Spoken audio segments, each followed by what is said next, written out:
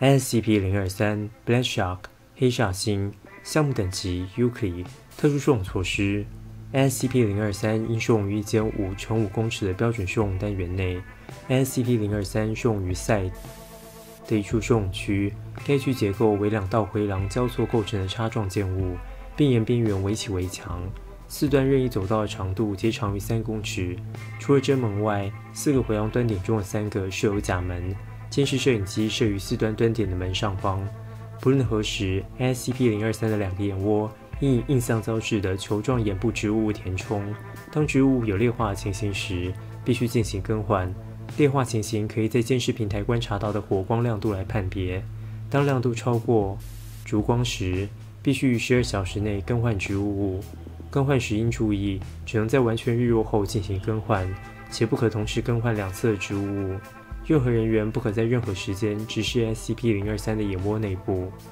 依据事故报告023至27，所有具有反光面的物品，如显示器、荧幕或任何一种眼镜，皆不允许出现在 SCP-023 的收容区半径三十公尺内。上述要求亦包括连线至监视摄影机的荧幕零部件。于收容区外哨点的安保人员亦强制遵行上述要求。关于 SCP-023 的相关试验，皆以无限期推延。描述：SCP-023 是一只大型、无性别的黑色长毛犬科生物，肩高1.5公尺，有一对亮橘红色的眼睛跟一口突出的牙齿。见事件报告023至26。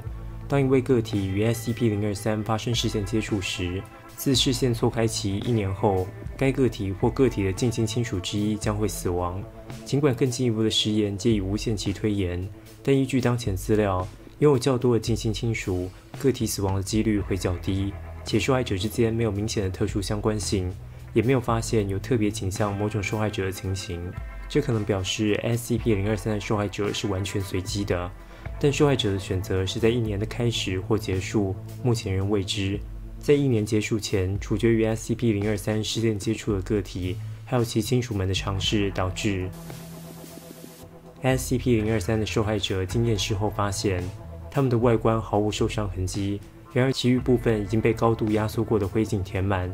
其余部分包括但不限于任何器官组织及循环系统。所有受害人的肌肉组织、骨骼及脑组织皆有暴露于摄氏六以上的迹象。SCP-023 如被收容于外观不是近似于十字路口的设施时，它将能穿越出墙外，到达最近距离且符合收容条件的地区，并焚化路径上的所有物质。基金会首次注意到 SCP-023 是在的一座教堂。当时他在集会中发起一次攻击，直接杀害未平民，并因事件接触而回收 SCP-023 后，所有证人及幸存者皆是以 B 级记忆消除。该次事故已演示为纵火案件。附录023至001在 SCP-023 穿墙拖出收容区。事故报告零二三至零一之后，于赛内两道回廊的交叉口发现特工注意到 SCP 零二三看起来与相似。SCP 零二三的特殊收容措施已更新，研究助理因此过失受到申诫。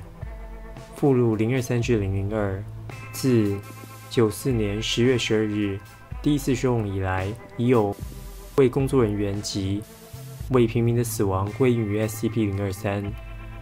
附录023至003正在评估甚至 Keter 请求。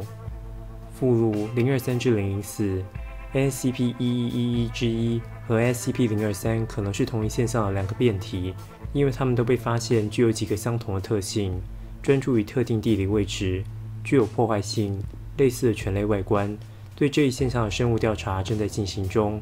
由于 SCP-1111 之一无法捕获，研究目前集中在 SCP-023 上。事件报告023至026涉及 SCP SCP-023，涉及人员博士五位低级人员，日期地点 Site 描述为了减少 SCP-023 带来的危险，博士已批准去除 SCP-023 的眼睛和牙齿。在他眼睛被移除后，SCP-023 完全消失，突破了收容。下午四点三十七分，SCP-023 在一段洲际公路上被重新发现，并被带回了收容区，由地检员继续完成拔牙的工作。这段时间内，暴露在 SCP-023 面前的平民人数未知。监测死亡记录，推测九位平民的死亡与此事件有关。对 SCP-023 接下来四十八小时的即时监测，证明了他只在 Site 外可见到太阳时才会消失。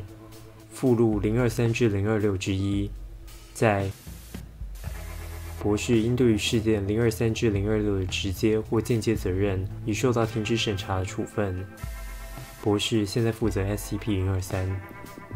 此次事件增加了收容的难度，因此博士的遭遇应该提醒基金会的所有成员：基金会的目标是控制、收容、保护，而研究、实验、便利性。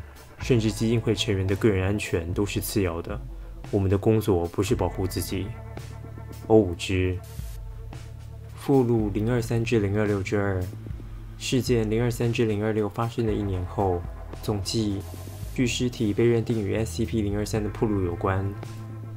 事故报告零二三至零二七涉及 SCP SCP 零二三涉及人员博士日期。地点 site 描述时间线零时零分十秒，两个地检员把一对玻璃眼球装进 SCP 零二三的眼眶。零时零分十五秒，玻璃眼珠呈现出一种橘红色，与 SCP 零二三被摘除的眼睛看起来一样。零时三分十三秒，SCP 零二三的眼窝流出了融化的玻璃。零时五分五十四秒，出现在了 site 的所有镜头。窗户、镜子、监视器以及玻璃表面。零时六分十二秒，Site 紧急疏散。六时五十四分七秒，日出，派出地检员检查 SCP 零二三的周围区域。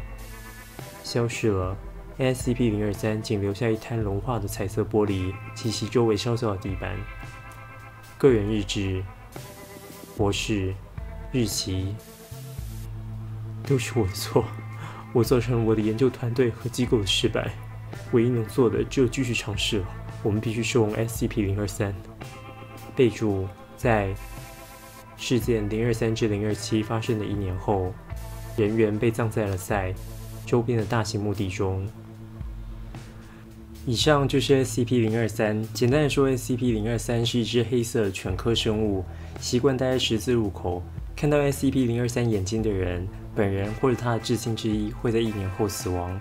为了降低 SCP-023 的危险性，基金会将 SCP-023 的眼睛移除。但 SCP-023 失去眼睛后，却得到了在白天时消失的能力，并导致 SCP-023 的使用失效。之后，他们试图用玻璃眼球来代替 SCP-023 原来的眼球。虽然文档中没有详细描述，不过可以推测 SCP-023 的眼睛出现在具有反光面的物体上，导致站点内许多人员的死亡。最后才有以橡胶球来取代 SCP-023 眼睛的方法。这个 SCP 的来源应该是英国的黑狗传说。这些传说有很多不同的变形，Black Shark 和 Buggase 都算是其中的一种。传说中黑狗是在晚上出现的幻影，有时具有变形能力，并且时常与恶魔有联系，或被描述成鬼魂、地狱猎犬。它的出现被认为是死亡的预兆。它通常比一般的狗大，具有发光的双眼。它出现的地点常跟雷暴雨、十字路口、处刑场和古老的道路有关。关于黑狗的传说是从何而来，其实没有一个明确的说法。不过在欧洲神话中，狗常跟死亡扯上关系，例如西亚神话中的科尔伯洛斯，这或许跟狗的食腐特性有关。而黑狗传说可能就是由这些神话衍生的。这支影片就到这边。如果你喜欢这支影片，记得帮我个喜欢。不喜欢的话就按不喜欢吧。希望我做成 SCP 或主题，可以留言告诉我。就这样，拜拜。